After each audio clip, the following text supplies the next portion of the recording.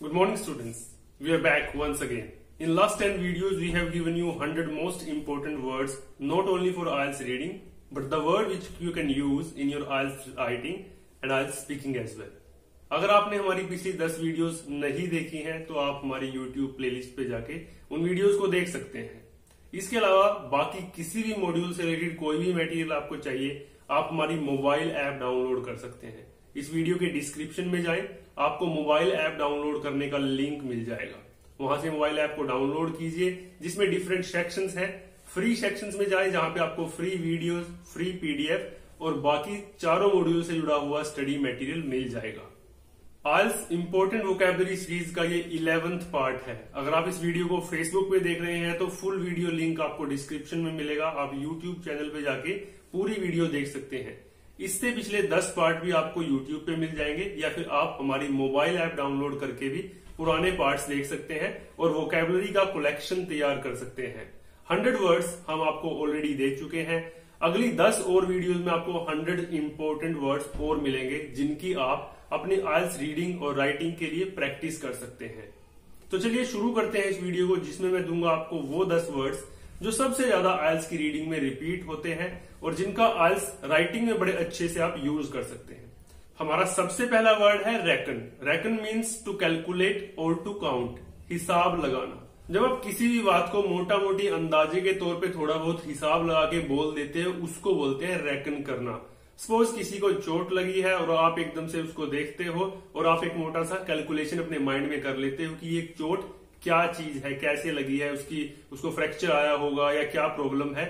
जब आप ये हिसाब, ये अंदाज़ा अपने दिमाग में बना लेते हैं that is called as reckon ये वर्ड बहुत ज़्यादा यूज़ होता है प्रोफेशन से रिलेटेड डॉक्टर एक मरीज़ को देख के कुछ ना कुछ रैकन करते हैं मोटा मोटी एक हिसाब लगाते हैं।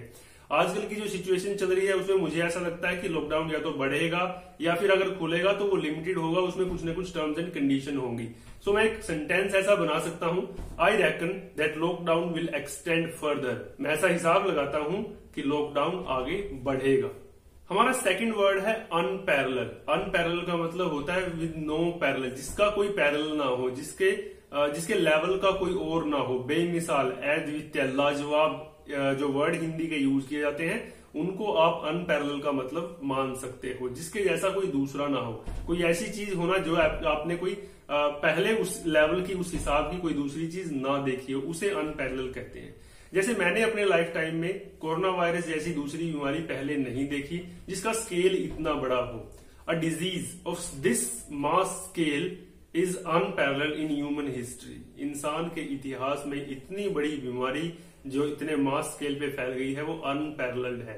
बेमिसाल है, अद्वितीय है या इससे पहले बहुत कम हुई है या नहीं हुई है। उसके लिए अनपैरल वर्ड यूज़ होता है। हमारा थर्ड वर्ड है पोटेंट पोटेंट का मतलब होता है strong powerful there is no potent drug in sight to cure corona virus corona virus का इलाज करने के लिए कोई पोटेंट या पावरफुल ड्रग मार्केट में या हमारी नज़र में आज तक नहीं है।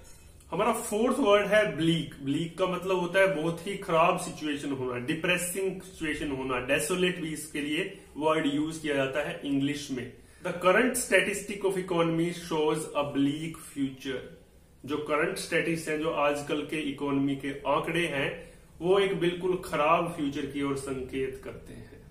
हमारा फिफ्थ वर्ड है मायर्ड मायर्ड का मतलब होता है फंसा हुआ या धसा हुआ या ये वर्ड काफ़ी यूज़ किया जाता है जब कोई चीज़ डीप इन मड बहुत ज़्यादा मड में या कीचड़ में आ, सनी हुई हो फंसे होने का मीनिंग भी मायर्ड के लिए यूज़ किया जाता है। The economy is mired with recession and lockdown हमारे देश की इकोनॉमी लॉकडाउन और रिसेशन के बीच में मंदी के बीच में फंसी हुई है। हमारा सिक्स वर्ड है एक्सहोर्ट एक्सहोर्ट का मतलब होता है किसी से प्रार्थना करना।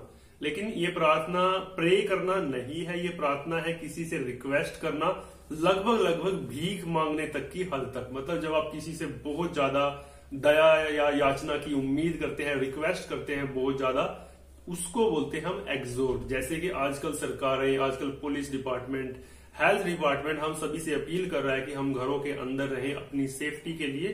सो एक्सोर्ट वर्ड उसके लिए यूज़ किया जा सकता है। The state government exhorted people to stay inside their home हमारा सेवंथ वर्ड है प्लंडर प्लंडर का मतलब होता है कुछ ले लेना या चुरा लेना mostly by force to take और स्टील समथिंग बाय फोर्स ज़बरदस्ती कुछ हथियार लेना, छीन लेना या लूटपाट करने के लिए भी ये वर्ड यूज़ किया जाता है।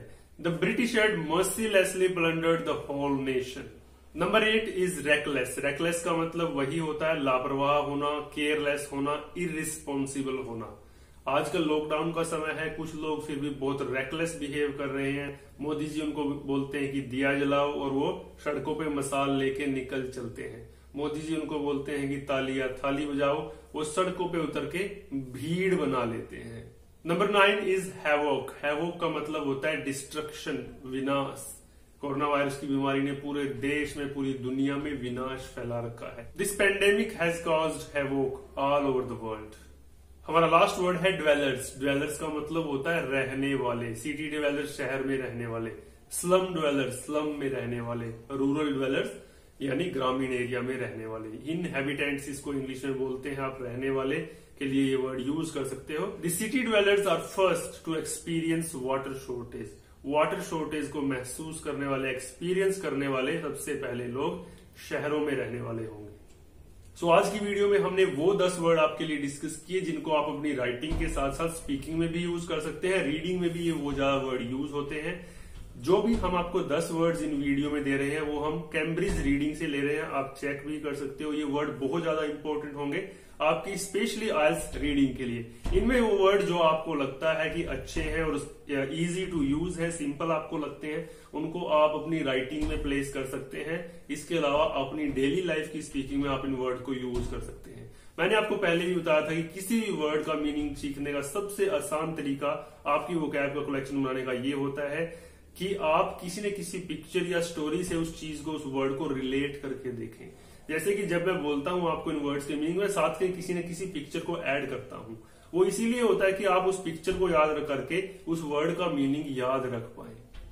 तो ये सबसे अच्छा तरीका है। आप भी इसी तरह से अपने वो कैब वर्ड्स की प्रैक्टिस करें। अगली वीडियो में हम आपके लिए दस वर्ड लेके फिर से हाजिर होंगे। So stay inside home and keep learning have a great day guys